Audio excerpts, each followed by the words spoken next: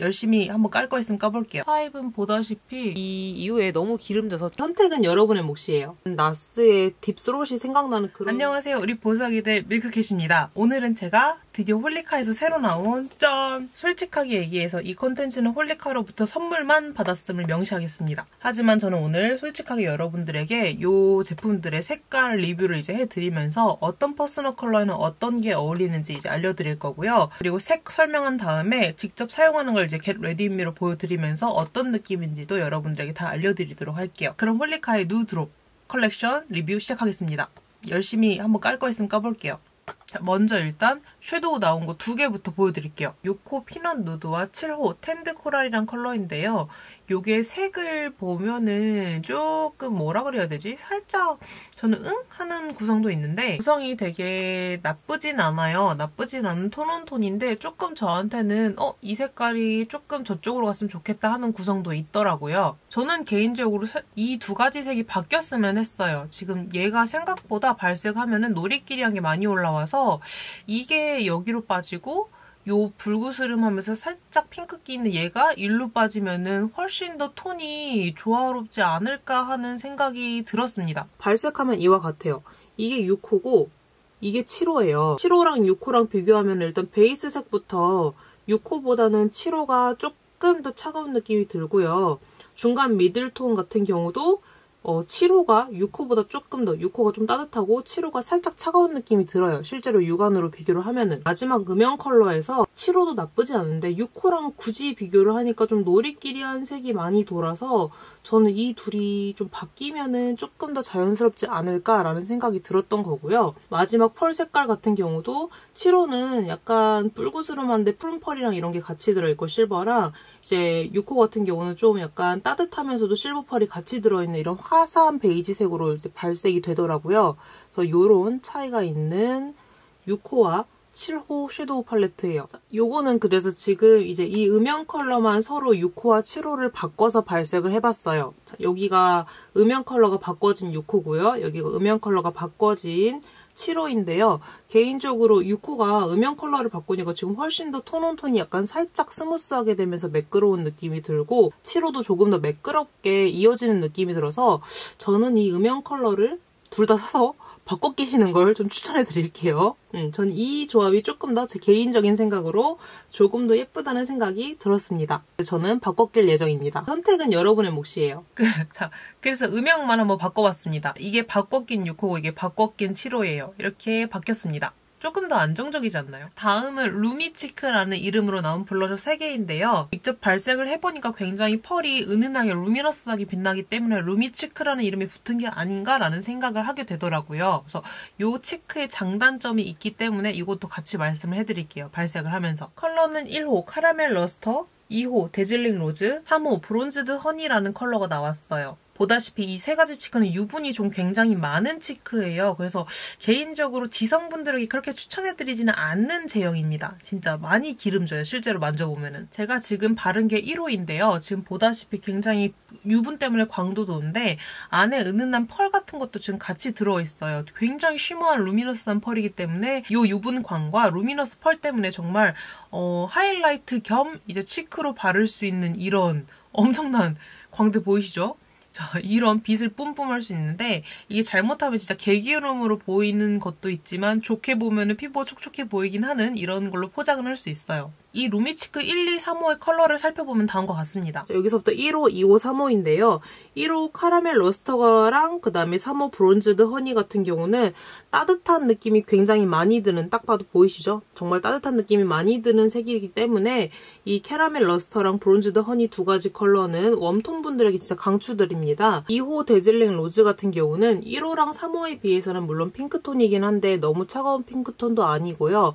그냥 딱 뭐랄까 누구나 무난히 쓰기 좋은 NARS의 Deep Throat이 생각나는 그런 핑크에다가 안에 shimmer하게 베이지인가 골드의 펄이 아주 미세한 게 들어가 있어요. 그래서 2호 Dazzling Rose는 그냥 warm tone, cool tone 상관없이 무난히 쓸 수 있는 예쁘장한 그런 핑크이기 때문에 핑크 블러셔 좋아하시는 분들은 2호 쓰시면 굉장히 좋으실 것 같아요. 전반적으로 느낌은 이렇고요. 다 끈적임이 있기 때문에 양 조절 잘하면서 잘 발라야 되는 그런 루미치크입니다. 다음은 Piece Matching 네일즈인데요. B201 코랄 누드랑 PK15 샴페인 드롭이라는 두 가지 베이스와 펄 이렇게 두 가지가 나왔는데요. 어, 얘는 정말 누디한 그런 컬러여가지고 그냥 뭐 무난히 누구나 사용하기 나쁘지 않은 컬러이지 않을까 싶긴 해요. 발라보았는데요. 실제랑 거의 비슷하게 지금 발색이 되는 걸 볼 수 있으실 거예요. 그래서 이 네일들은 진짜 누구나 무난히 사용하기 너무너무 좋은 컬러니까 이것들 좀 nudie한 컬러들 사고 싶었다면 이거 nail은 진짜 강추할게요. warm tone cool tone 상관없이. 색깔이 너무 이쁘네요. 진짜로. 핵강추.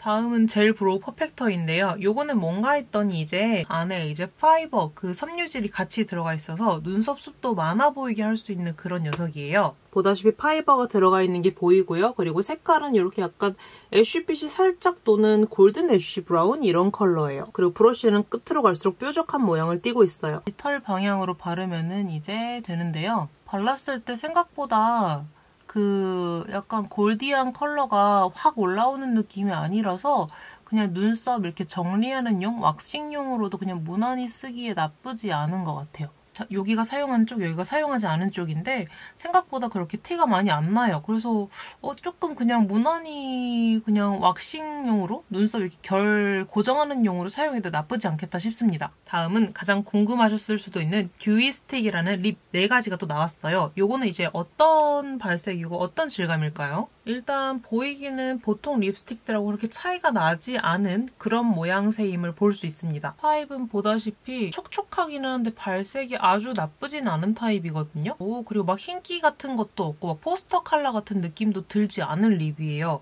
막 전 Dewy Stick이라서 많이 끈적거릴 걸 좀 예상했는데 그렇게 막 끈적거리거나 막 melting한 느낌은 들지 않습니다. 그래서 제형면에서는 전 개인적으로 좀 적당하다는 생각이 들어요. Dewy Stick 4가지의 발색을 비교하면 이런데요. 완전 warm tone 몰빵이에요. 그래서 1호 See Through Peach 같은 경우가 그나마 cool tone도 쓸 수 있는 그런 tone down된 핑크 컬러인데 일단 엄청 차가운 느낌은 안 들지만 그래도 cool tone을 쓸 수 있어요. 2호 Bare Coral 같은 경우는 처음 발랐을 때는 coral기가 확 올라오는데 이렇게 조금 시간 지나니까 약간 warm pink같이 변하는 coral pink 컬러이더라고요. 그래서 봄 warm tone 분들에게 강추드리고요. 가을 warm tone 분들은 그냥 MLBB 느낌으로 쓸 수 있을 거예요. 그다음 3호 Naked Honey 같은 경우는 너무 주황기가 약간 쌈장같이 낭낭하게 도는 컬러라서 일단 엄청 이쁜 생각은 안 들고 요건 일단 가을 warm tone 분들에게 소수의 가을 warm tone 분들에게 추천을 해드리고요. 4호 Skin Brick 같은 경우는 요거는 약간 MAC Chili가 생각나는 딱 그런 컬러예요. 그래서 이것도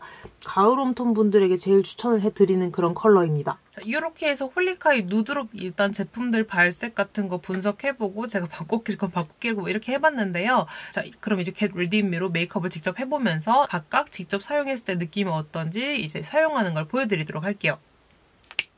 자, 그 다음에 자, get ready me를 찍었는데요. 제가 깜빡하고 마이크를 안 키고 촬영을 다 한 거예요. 그래가지고 이렇게 녹음으로 이제 사용했던 이제 소감을 말씀해 드리도록 할게요.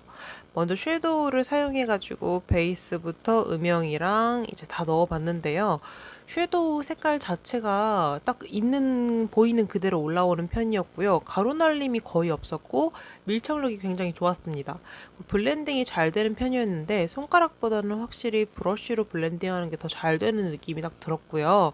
색깔 자체가 엄청 깊은 음영이 아니라 약간 정말 nudie하면서 은은하면서 자연스럽게 확 음영이 들어가는 느낌이어가지고 daily 메이크업 섀도우로 쓰기 너무너무 좋은 그런 섀도우이더라고요. 저는 이거 메이크업 초보자분들에게 진짜 강추드리고 싶은 이번 누드롭 섀도우예요. 아 그리고 섀도우가 펄이 진짜 괜찮더라고요. 펄이 되게 이뻐요. 근데 엄청 오래가는 느낌은 살짝 없었고 습식이 아니라서 이거는 어쩔 수 없긴 한 것 같습니다. 그리고 섀도우 컬러들이 엄청 cool, 엄청 warm 이런 게 아니기 때문에 그냥 취향대로 사셔도 괜찮으실 것 같아요.